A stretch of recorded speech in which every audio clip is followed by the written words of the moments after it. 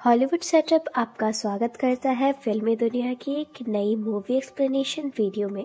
इस कहानी की शुरुआत में ये दिखाया जाता है कि इरफान खान कैनेडा में रहता है और उनका नाम होता है पाई पटेल और उनसे वहाँ पर मिलने के लिए एक राइटर आता है, जो पिछले दो सालों से किताब लिख रहा होता है, पर उसकी दो सालों की मेहनत के बाद भी वो कुछ भी लिख नहीं पाता।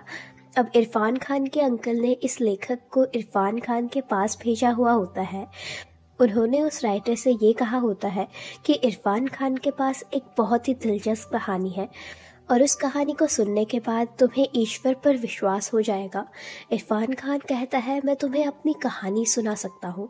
वैसे मैंने रिचर्ड पार्क के बारे में कई सालों से बात नहीं की है और इसके बाद कहानी फ्लैशबैक में जाती है। और ये दिखाते हैं, अभी इरफान खान बहुत छोटा है और उनका नाम होता है पी सिंह पटेल, लेकिन स्कूल में सब बच्चे उन्हें चढ़ाते हैं।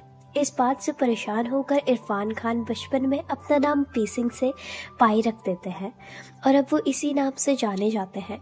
पाई बचपन में पंडशहरी में रहते थे और उनका जन्म एक हिंदू फैमिली में हुआ था।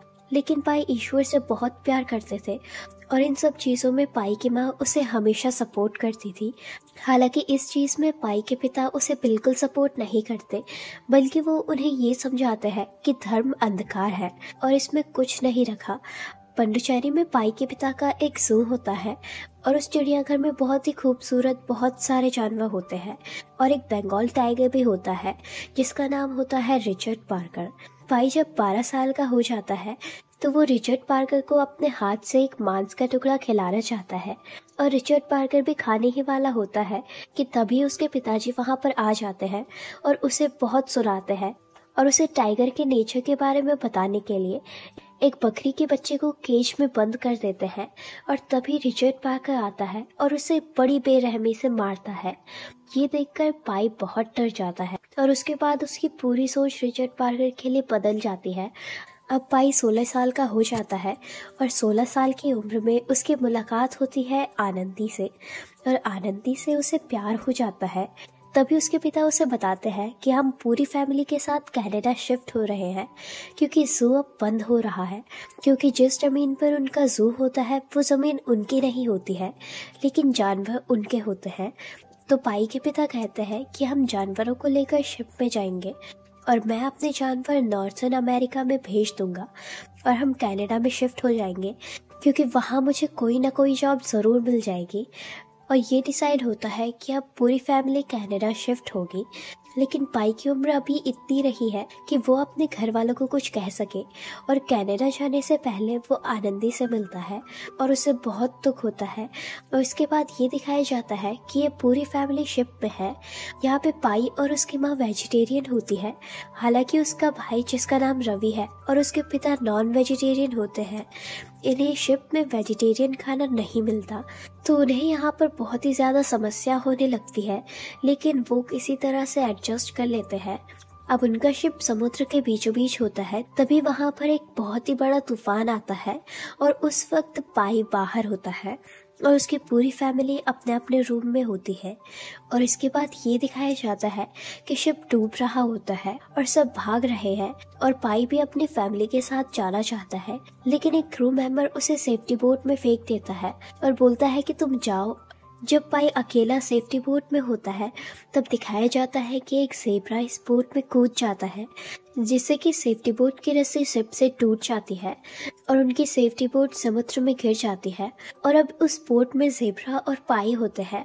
तूफ़ान बहुत ही ज़्यादा तेज होता है और समुद्र की लहरें बहुत ऊँची होती है। तभी पाई देखता है कि समुद्र में कोई तैर रहा है और उसे लगता है कि वो कोई इंसान है। और वो उसे बचाने के लिए एक ट्यूब फेंकता है, ताकि उसे खींचकर बोट पे ला सके। लेकिन जब उसके पास वो चीज़ आती है तो वो देखता है कि वो रिचर्ड पार्कर है। भाई कोशिश करता है कि वो बोट पर ना आए, लेकिन समुद्र में लहरें बहुत तेज होती है, जिस वजह से रिचर्ड पार्कर बोट में आ जाता है। और अब पाई बोट से नीचे कूद जाता है, लेकिन पाई के पास कोई ऑप्शन नहीं होता। और अब उसे दोबारा बोट में आना पड़ता है, और जब वो बोट पर आता है तो वो देखता है कि वहाँ पर रिचर्ड पार्कर नहीं होता। वहाँ पर सिर्फ़ जेबरा होता है।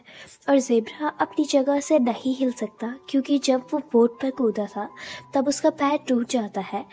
इसके बाद सुबह हो जाती है और तूफ़ान थम जाता है। बोट में अब पानी भर चुका है, जिसे पाई बाल्टी से निकालकर बाहर फेंक रहा होता है।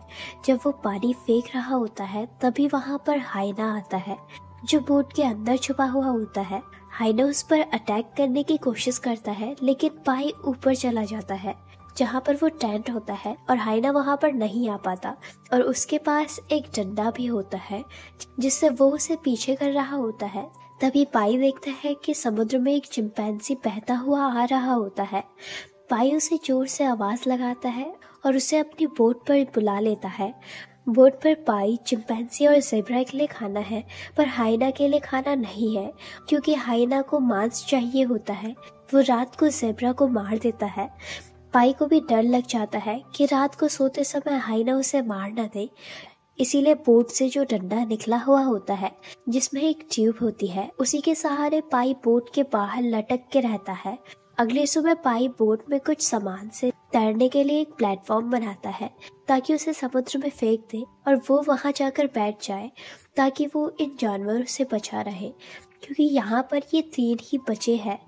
इसके बाद हाइना चिंपैंसी पर अटैक करके उसे भी मार देता है। जब वो पाई की तरफ़ बढ़ता है, तभी रिचर्ड पार्कर बोट से निकलकर हाइना को मार देता है। पाई भी अब उस प्लेटफॉर्म में रहता है, जो उसने बनाया है। लेकिन पाई को जब भूख लगती है तो उसे बोट पर जाना पड़ता है, पर वो बोट के ऊपर नहीं जाता, बल्कि नीचे खड़ा होकर खाने का सामान निकाल रहा होता है। तभी रिचर्ड पार्कर उस पर अटैक करता है, और इसके बाद वो अपने प्लेटफॉर्म को दोबारा से बोट से दूर कर देता है। पाई ईश्वर से ये भी कहता है कि तुम ही मुझे रास्ता दिखाओगे। पाई जानता है कि समुद्र का सफ़र बहुत लंबा होने वाला है, और जो प्लेटफॉर्म पाई ने अपने लिए बनाया है उस पर वो बहुत ही लंबे समय तक नहीं रह सकता।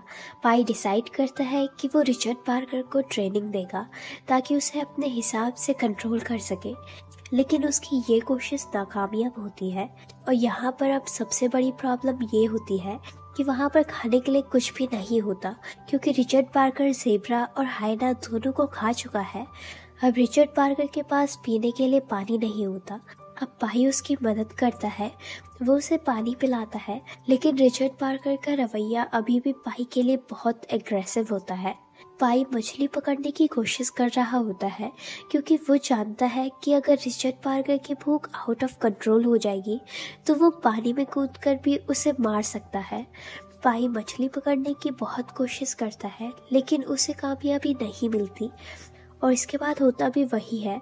रिचर्ड पार्कर समुद्र में कूद जाता है और वो पाई की तरफ़ बढ़ना शुरू कर देता है। पाई जल्दी से रस्सी खींचकर बोट की ओर चला जाता है और अब रिचर्ड पार्कर नीचे है और पाई बोट के ऊपर है। अब रिचर्ड पार्कर बहुत कोशिश करता है कि वो बोट के ऊपर आ जाए, लेकिन बोट ऊँची होती है और इसीलिए वो ऊपर नहीं आ पाता। और अब पाई कुल्हाड़ी निकालता है और वो शेर को मारने ही वाला होता है। फिर वो ये सोचता है कि मैं क्या कर रहा हूँ। और उसके बाद वो एक फट्टा बोट से लटका देता है, जिसका सहारा लेकर रिचर्ड पार्कर बोट में दोबारा वापस आ जाता है और भाई दोबारा से अपनी उस जगह पर चला जाता है और पाई रिचर्ड को भी बोट पर ले लेता है। अभी भी वो भूखा है, इसीलिए पाई मछली पकड़ता है, जो काफ़ी बड़ी होती है और उसे कुल्हाड़ी से मार देता है।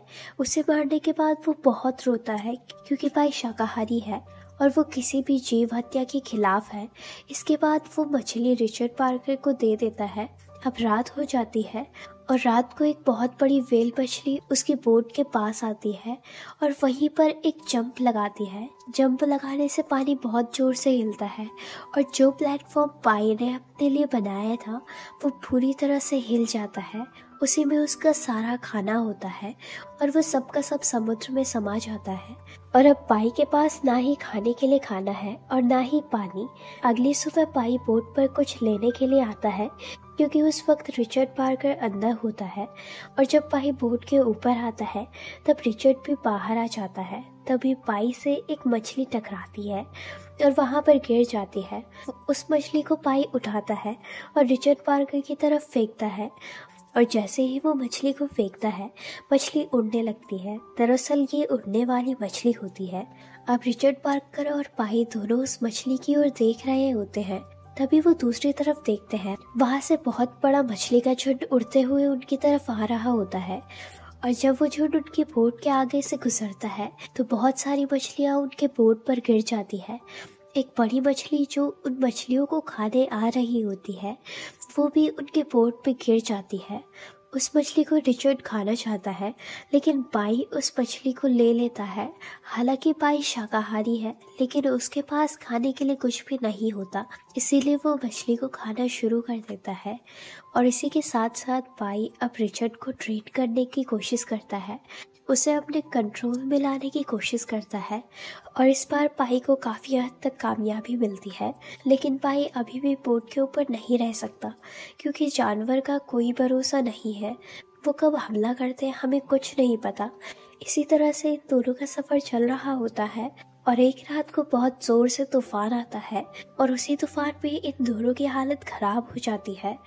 इसी के साथ साथ पाई का प्लेटफॉर्म भी पानी में बह जाता है अब इन दोनों को बोट पर एक साथ ही रहना पड़ेगा।